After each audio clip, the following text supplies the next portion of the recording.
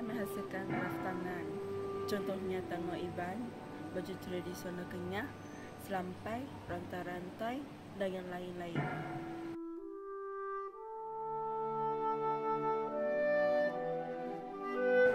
Barang yang saya selalu pakai ialah manik-manik, benang, gunting, batu ulu, straw dan lain-lain.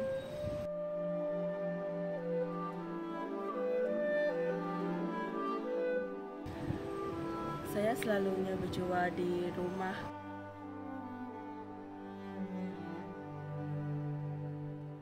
Jika anda berminat, anda boleh membuat tempahan di Facebook iaitu Kraft Tangan Songs.